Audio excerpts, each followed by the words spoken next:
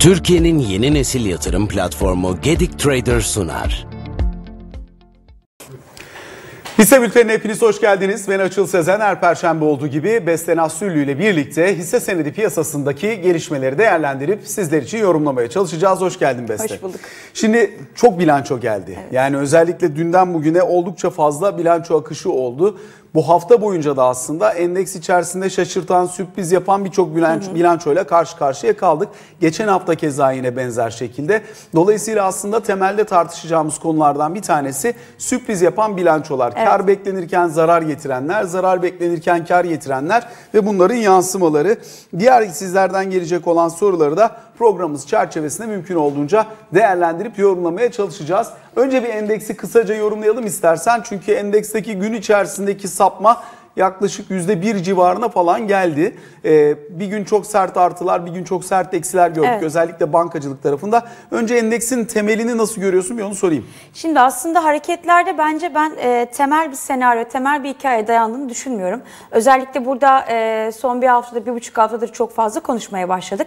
Burada e, robot işlemlerin e, varlığı sanki endeksi biraz daha fiyatlıyor e, gibi geliyor bana. Çünkü baktığımız zaman e, bir gün para giriş yaşanan bir hissede ertesi gün rekor neredeyse para çıkışları söz konusu. Bu nedenle bunun bir hikayesi var mı? Yok. Bir günde değişen bize bizim bilmediğimiz bir şey olabilir mi? Bu kadar para çıkışı varsa o da yok. Ama e, baktığımız zaman bu tarz hareketleri anlamlandıramadığımız, endekste adeta bir yönsüzlük olduğunu görüyoruz. Biz bunlara açıkçası tester hareketleri deriz. Bunlar e, yatırımcı ne yazık ki doğuruyor. Ne kurumlar memnun ne yatırımcı memnun.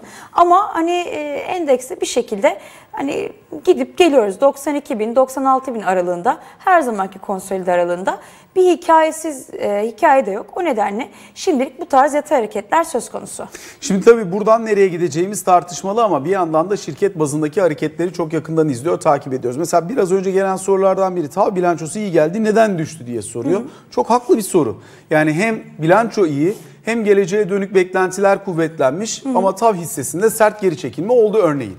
Evet.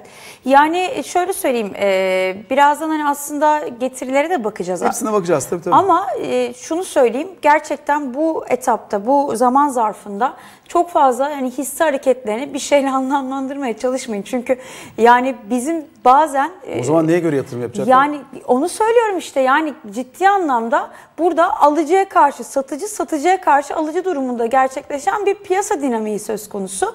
Bu bence en tehlikeli. Burada biraz çekilmek gerekiyor. Tavın açıkçası şöyle söyleyeyim hani sadece tav nezdinde değil burada birçok hisseden... Hepsinde oldu. Tabii tabii ben örnek olarak da bu söyleyeyim. Bahsederiz. Yani dolayısıyla şu sıra bence küçük yatırımcı biraz daha dinlenmeli, kafasını dinlemeli, biraz kenara çekilmeli. Çünkü e, yani destek ve dirençlerden daha çok işlem yapmalı.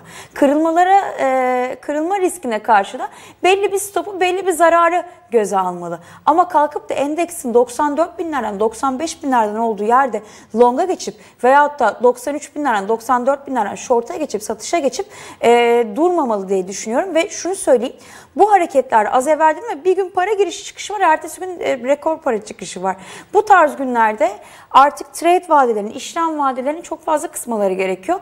Gün içi işlemler hatta seans içi işlemler yapmaları gerekiyor.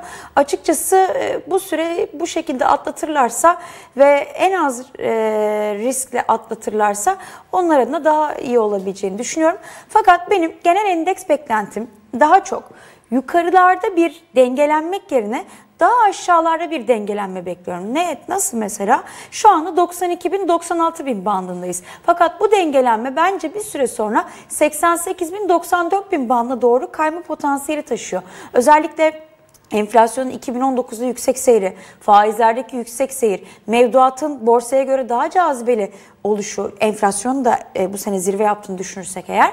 E, bu nedenle ben biraz daha mevcut konjonktürün Borsa İstanbul'da yeni bir dengelenme çabasında olacağını, bunu da çok büyük e, düşüşler değil ama daha hani 3000 2000 puanlık band kaymasıyla 88 bin 94 bin ineceğini düşünüyorum. Peki şimdi bakalım e, artı beklenirken eksi eksi beklenirken artı Hı. gelenler var dedik. Bu bilançoların e, detaylarını iki ayrı grafikle değerlendirip yorumlamaya çalışacağız.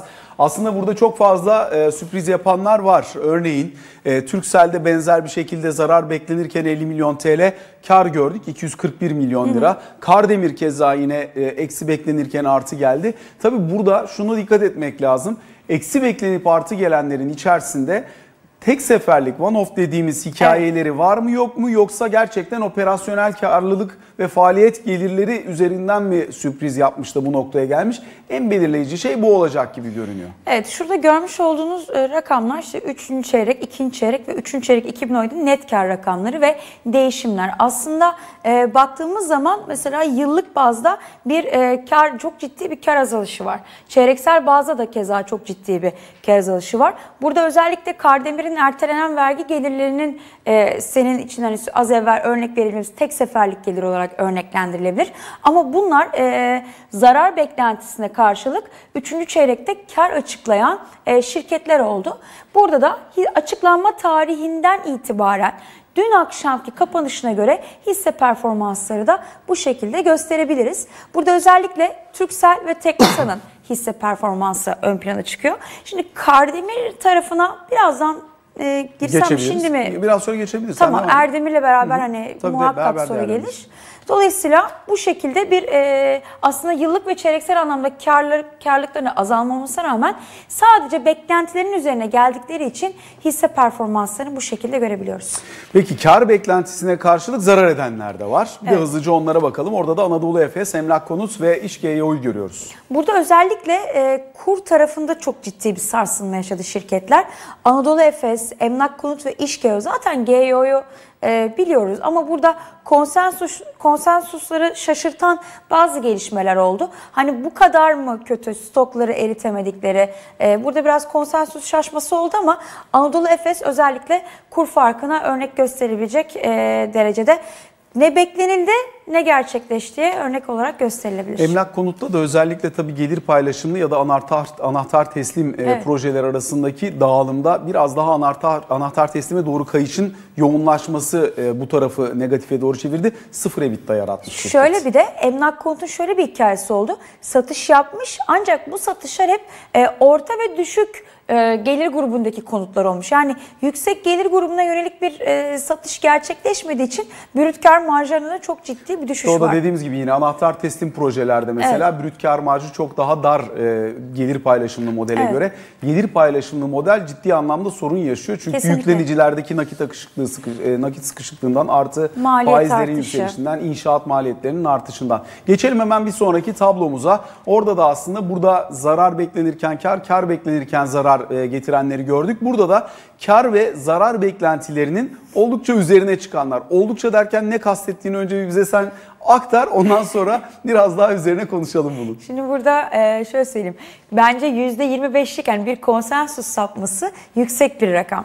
Dolayısıyla ben %25'in üzerine aldım. Bu da hani oldukça yani onu hani Türklerin ölçüt primleri vardır tamam, ya. Oldukça deyince bundan sonra e, beste söz konusuysa %25 ve üzerine almıyoruz. %25 üzeri.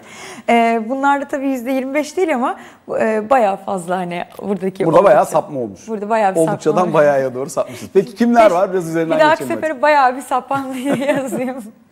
Şimdi burada en başta enerji sağ geliyor. Çimsa, Aselsan, Anadolu Cam, Tofaş ve bizimi görüyoruz. Yani burada beklentilerin çok fazla üzerinde e, çeyreklik bazda kar artışlarının olduğunu görüyoruz. Burada özellikle en fazla ön plana çıkan evet belki konsensusun %25 üzerinde ama bizim oldu. Çünkü baktığımız zaman çeyreksel ve e, yıllık bazda, yıllık bazda tabii eksisi olduğu için şey yapamıyoruz ama e, bir önceki e, yıl eksi getirdiği için hesaplanamıyor ama çeyreksel bazda bizim de gerçekten düzelen bir performans var. Ama tabii elde edilen kar rakamı çok yüksek olmadığı için hani 7, 8, Değil. 9 oralarda olduğu için yüzdesel olarak çok yüksek Değil. görünüyor. Ama biz burada bizimde bir yönetimsel bir değişimden bahsediyoruz Hı-hı. ve bu e, şirkette ciddi anlamda geçen seneden bu yana bir dönüşüm ve aynı Hikaye zamanda marjlarda toparlanma söz konusu olduğu için ki biz zaten bizimi e, kendi yatırım danışmanlığı kapsamımızdaki portföylerimize de takip ediyoruz. Dolayısıyla o tarafta yavaş yavaş artık düzelmeye başlıyor. Şöyle söyleyeyim. E, Bizim de aslında önemli olan şu, yarın bir gün biz e, Borsa İstanbul'da hani tekrardan iyi bir performans yakalarsak veyahut da hisse bazlı özellikle enflas, enflasyonist dönemlerde bizim BİM, Migros gibi perakende, gıda perakendeciliği yapan e, şirketlerin çok daha iyi performans gösterdiğini görüyoruz. Dolayısıyla bu sektör içerisinde BİM ve bizimi ayrıştırabilirim. Çünkü bizimle bir toparlanma yatırımcıyı da e, açıkçası teşviklendirebilir. Peki zarar beklentilerinin daha da üzerine çıkanlar kimler dediğimizde Akenerji ve Bağfaş koymuşuz. Şimdi buraya. bir gün olmasın ki böyle kötü bir konudan bahsederken Akenerji o listede olmasın. Ne yazık ki Akenerji e, hem e, yabancı e, para yani Borçluluk borçluluk hem borçluluk olarak hem de e, yükümlülük bakımından hem de e, yabancı para açığı bakımından hep ön sıralarda kalıyor. Dolayısıyla Ak Enerji belki de Borsa İstanbul'un en zayıf şirketlerinden biri ve bu e, listede de karşımıza çıkması şaşırtmadı. Burada Bağfaş e, biraz sorun. Çünkü Bağfaş'ta gerçekten e, yönetimle yatırımcı arasında çok ciddi bir uçurum var. Yani bilgi akışı bu tarafta sağlanmıyor ve şunu da söyleyeyim burada dipnotların da biraz eksikliği ve e, şirketin e, zarar ediyor oluşu Bağfaş'ı gübre sektörü içerisinde gübre fabrikalarının ne yazık ki gerisine bırakıyor. Peki geçelim şimdi hisselerle ilgili gelen sorulara. Çok sayıda da soru geldi biz burada konuşurken ama hızlıca üzerinden geçeceğiz. Öncelikle bir Tüpraş ve Türk Hava Yolları bilançolarına bakalım istersen. Türk Hava Yolları bilançosundaki karlılık rakamı yaklaşık 4 milyar liralık bir kar rakamından bahsediyoruz. Evet. Dolayısıyla aslında e, hem şirket operasyonel olarak çok avantajlı ama tabii dolar bilanço tutup TL açıkladıkları için oradaki kur farkından muazzam bir kar yazlar. Tarihi karlardan bir tanesidir büyük olasılıkla. Daha yüksek çeyreklik bazda kar yazan Türk şirketi oldu mu? E, Şirket bazında soruyorum. Banka bazında belki olmuştur ama e, ben hatırlamıyorum açıkçası. Yok, şirket bazında Türk Hava Yolları ciddi anlamda e, bu çeyrekte kendisini açtı. Zaten gelen e, bak, rakamlara baktığımız zaman e, bunun açıkçası olabileceğini tahmin ediyorduk. Çünkü Devlet Hava Meydanları işletmesinin e, her dönem açıkladığı e, yolcu sayısı rakamlarını bu sene rekora ulaşmıştık. Şöyle söyleyeyim Türk Hava Yolları'nda ee, şimdi evet bir bilanço hikayesi vardı bunu bekliyorduk ama artık turist gelirleri yani daha doğrusu turist sayısındaki azalma, turizm sektöründeki o yaz hareketliliğinin e, bir miktar daha hani olumlu sonuçlarını yeteri kadar fiyatlıyor oluşumuz Türk Hava Yolları açısından hani evet muazzam bir kar var ama e, çok ciddi bir fiyatlama sunar mı? Çok fazla zannetmiyorum. Çünkü o, o tarafta artık yavaşlayan bir ilme göreceğiz. E, bu nedenle Türk Hava Yolları için hani olumlu görüşümüz devam ediyor ama e, buradaki olumlu görüşümüz yani yaz aylarındaki ya da Haziran aylarındaki 20-21 liralardan 20 liralardan ziyade biraz daha 17-18 liraları e, görebiliriz diye tahmin ediyorum. Ama onun dışında Türk Hava Yolları açısından e, 18 liranın üzerine şu an bir hikayesi yani bir katalizör oluşu, olması gerekiyor. Bilanço zaten bekleniyordu bu şekilde. Peki bir e, kısaca da Tüpraş'a bakalım istersen. Çünkü Tüpraş'ta da 543 milyon liralık bir kar var. Aslında karlılık rakamı olarak baktığımızda beklentilerin altında. Evet. Fakat şirketin hem e, kar, e, Favök marjına baktığımız zaman hem Favök rakamına baktığımız zaman beklentilerin %14 üzerine geldiğini görüyoruz. Keza yine hem e, ciddi anlamda yüksek bir ürün spreadi yakalamışlar, hem kur avantajı yaşamışlar, hem petrol fiyatlarından kaynaklanan ciddi anlamda stok karı yazmışlar ki 293 milyon lira Evet. stok karı var. Oldukça kuvvetli. Net rafineri marjında da iyileşme var Artış ama var. karlılık rakamı beklentinin altında gelmiş. Dolayısıyla gelecek döneme ilişkin beklentileri de bir miktar negatife doğru revize ettiğini görüyoruz şirketin. Nasıl görüyorsun bilançosunu? Şimdi burada kur kaynaklı finansman giderlerindeki artış aslında e, Tüpraş'ı baskılayan bir etmen olmuş. Ben açıkçası çok kötü okumadım. Çünkü e, şöyle söyleyeyim Akdeniz rafineri marjını e, 4.75-5 dolar aralığından 4.25-4.75'e çekmiş bulunmakta. Fakat net rafineri marjlarına baktığımız zaman 7.5-8 dolar varil başına aralıktan 9.5-10 dolar varile yükseltmiş. 10.5'a yükseldi. 9.5 10.5'a Yani yükseldi. 9,5-10,5'a yükseltti. Ee, şöyle söyleyeyim, e, bu İran konusunda bir kere muaf- muafiyet al- alıyor, almış oluşumuz Tüpraş açısından e, bence en olabilecek en iyi senaryoydu. E, çünkü e, şöyle söyleyeyim, bu açıkçası hani Tüpraş biz başka bir yere gider, ürün arar diyoruz ama... E, İran petrolüne göre olan bir rafineri söz konusu. Dolayısıyla bu etapta Tüpraş'ın yeni bir yer araması çok zordu. Yani çok çok zordu. Bu nedenle İran e, yaptırımlarına muafiyet alışı, alıyor oluşumuz bence olumlu bir durum oldu. Açıkçası şunu söyleyeyim ben Tüpraş'ta negatif değilim. Hatta ve hatta e, Tüpraş açısından bu fiyatlamaların biraz daha üzerine çıkabileceğimizi bile düşünüyorum. Geldiğimiz seviyede fiyatları tekrar e, bakacak olursak bugünkü fiyatında ne Getir olmuş? şimdi arkadaşlar onu sonrası ekrana. baktığımız zaman 131-132 lira aralığına Açıkçası gidiyor. o tarafta 140-150 liraların ben e, halen daha e, yani in the basket yani sepet içerisinde olduğunu Nerede düşünüyorum. olduğunu düşünüyorsun? Yani sepet içerisinde masanın üzerinde olasılık. Buralara gidebilir diyorsun yani. Buralara gidebilir yani buralara gitme potansiyelinin olduğunu düşünüyorum.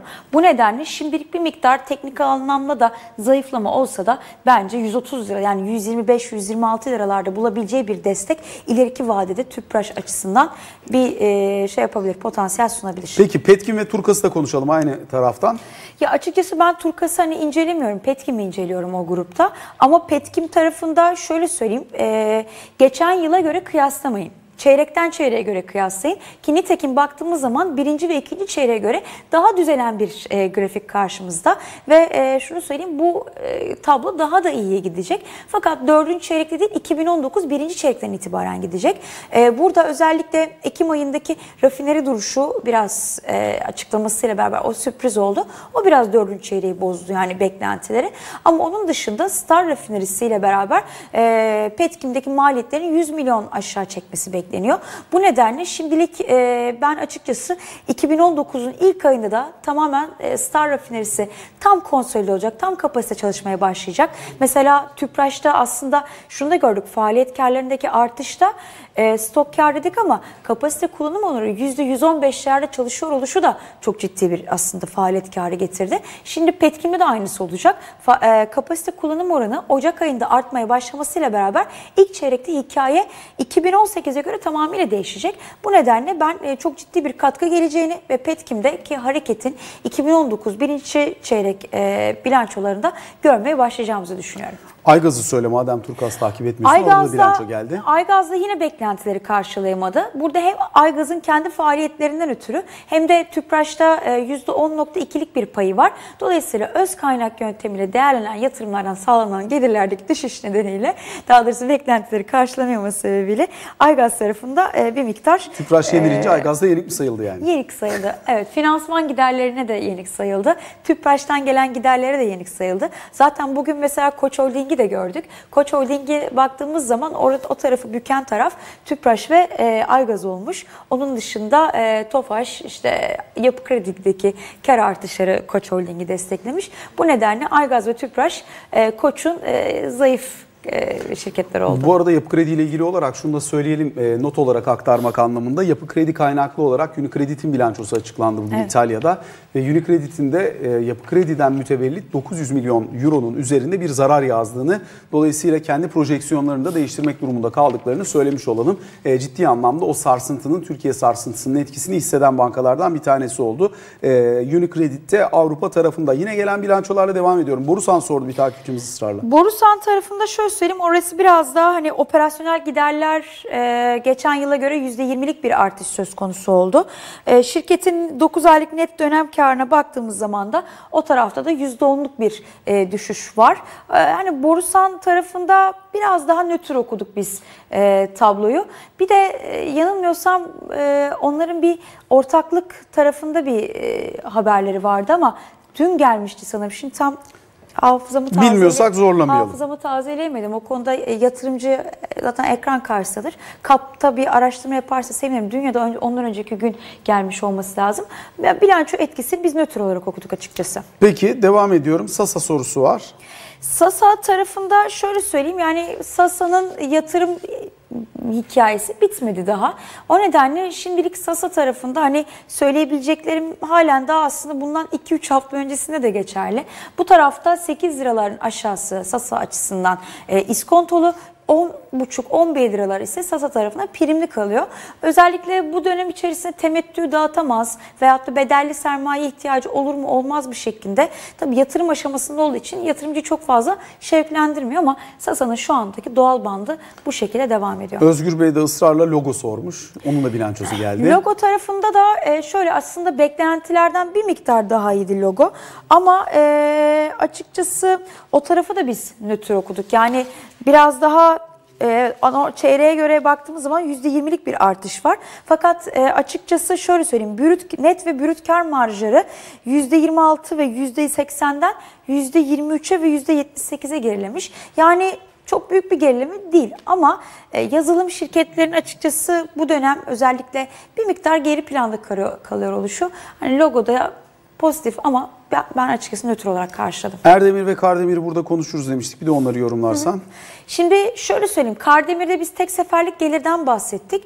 Ama özellikle 3. çeyrekte demir çelik fiyatlarının yüksek seyrediyor oluşu Kardemir'i biraz daha destekleyen taraf oldu. Demir çelik fiyatları ne zaman düşmeye başladı? Temmuz sonu Ağustos'tan itibaren düşmeye başladı. Dolayısıyla o 2 aylık taraftaki e, demir yüksek yani ham madde fiyatlarının yüksek seyrediyor oluşu hem Kardemir'i hem de Erdemir'i destekledi. Bir de Kardemir bu ara e, yüksek dolardaki kur tarafındaki yükselişe rağmen çok agresif bir şekilde fiyatlarını yenileyebildi ve yani marjlarındaki o düşüşü engellemesine sebep oldu. Bu nedenle Kardemir tarafı olumlu ama şöyle söyleyeyim artık o baz etkisini yeteri kadar hissedemeyeceğiz Kardemir tarafında. Bu nedenle hani daha yavaşlayan e, bir e, grafik karşımıza çıkabilir. Ama bu beğenmiyor oluşumuz anlamına mı geliyor? Hayır bir de şunu söyleyeceğim. Demir çelikçiler için. Açıkçası 2019'da ekonominin yavaşlaması bekleniyor. Yani ekonomik anlamda bir yavaşlama bekliyoruz. Bu da ne anlama geliyor? Yurt içi talepteki azalmanın anlamına geliyor. Mesela Ereğli'de de e, şunu gördük. Ham çelik üretiminde bir azalma söz konusu oldu. Yani ekonomik bir yavaşlama direkt olarak demir çelik de sanayi sektörüne etki edecek. Bu nedenle orası biraz daha cazibesini yitirmeye başladı. Fakat halen daha şunu söyleyebilirim. Ee, geçen sefer Kardemir için nasıl 2.80-3 lira aralığı desteklediysem yine Kardemir için bu taraflar destek olarak çalışıyor. Ama e, görünüm açısından bir miktar baskı altında kalabilirler 2019 projeksiyonlar açısından. Ereğli ve İskenderun Demir Çelik tarafına bakalım. Burada Ereğli'de şöyle bir hikaye var. Biraz hızlanarak çeyrek. bakalım ama. Tamam. Ereğli'de şöyle bir hikaye var. İkinci galvanizleme hattı e, devreye girecek 2018'in son çeyreğinde. O belki biraz e, hisseye destek olabilir. Ama onun dışında ham e, çelik üretimin, üretimindeki düşüş nedeniyle ve demir çelik fiyatlarındaki düşüş nedeniyle Ereğli tarafında biz biraz daha fiyatlamayı yaptık. Artık zayıf kalabilir. İskenderun demir çelik ise Ereğli'ye göre biraz daha e, iyi performans göstermesini tahmin ediyorum yapmış olduğu bazı ayrıştı faaliyet dalları sebebiyle. Facebook'tan bir BİM sorusu geldi. Aynı zamanda İşçi'nin bilançosunu nasıl görüyorsun diye sordular. Hı. Bir de konuşmamıştık daha evvel. İzliyorsan Torunlar GYO. Torunlar GEO'dan başlayayım hemen. Çünkü o tarafta e, yüksek borçluluk var ve GEO sektöründe e, şimdilik yine bu e, Emlak Bankası'na aslında bir hani daha doğrusu Hazine ve Maliye Bakanlığı çerçevesinde yeni gelen bir haber var. Stok eritme çabası. Ama e, şöyle söyleyeyim bu ne kadar başarılı olur bilmiyorum ama şimdilik ben çok olumlu hani daha netleşmediği için olumlu olumsuz yorumda bulunamayacağım. Ama Torunlar yüksek döviz borçluluğuyla ön plana çıkan bir şirket. İşçiye geldi fakat şöyle söyleyeyim. İşçiye de açıkçası ben e, hani e, çok okuyacak bir e, fırsatım olmadı. Fakat şöyle bir şey var. Çeyrekten çeyreğe %20'lik azalan bir net kar söz konusuydu. Yani bankacılık sektörü açısından şimdilik e, çeyrekten çeyreğe azalan bir kar görüntüsü yaşayacak oluşumuz bence e, bankacılık sektörü açısından biraz daha e, nasıl desem hani çok favori değil açıkçası. O nedenle işçiye tabii detaylı bakmak lazım ama ben oradaki çeyrekten çeyreğe azalan net kar e, biraz hoşuma gitmedi. BİM. E, BİM vardı. Az evvel Migros'la konuşurken ve bizimle konuşurken şunu söyledim. Enflasyonist ortamda e, gıda perakendeciliği yapan şirketlerin karlılıklarında bir artış söz konusu oluyor. Bu nedenle ben BİM'i ve bizimi e, bu sektör açısından beğeniyorum biraz takıldı ve biraz da 82 liralardan yaşadığı bir çift tepe var. O eğer aşağıda 78-76 lira bandını aşağı kırarsa fiyatta bir miktar geri çekilme potansiyeli var. Ama geri çekildiği yerden iskontolu olarak gördüğümüz yerden tekrar alınıp tutulabilir portföyde. Teşekkür ediyoruz Beste Nasüllü. Bu programın tekrarını Business ST e, Live, Periscope ve YouTube hesaplarından izleyerek takip edebilirsiniz. Kaçırdığınız yorumları da yine oradan bulabilirsiniz. Lise bülteninde önümüzdeki salı yeniden görüşünceye dek hoşçakalın. Türkiye'nin yeni nesil yatırım platformu Gedik Trader sundu.